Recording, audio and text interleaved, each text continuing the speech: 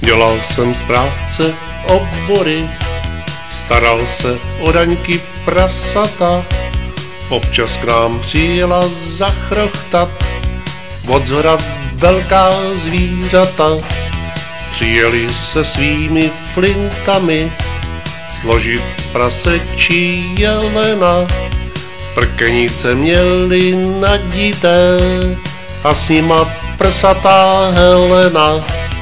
Pak nadspali se gulášem, dělali velké machry. Mezi řečí já se dozvěděl, jak dělají s prachama čachry. Přikvačil jeden vládní člen, brejle jak sklavot sodovky, za každou cenu si zastřílet z tý svojí drahý špuntovky. Říká mu, pane, jde volbu s těmahle očima střílet. On se hned úžasně rozvsteklil a začal strašně kvílet. Tak jsme šli na kraj lesíka, kam chodí divé prase.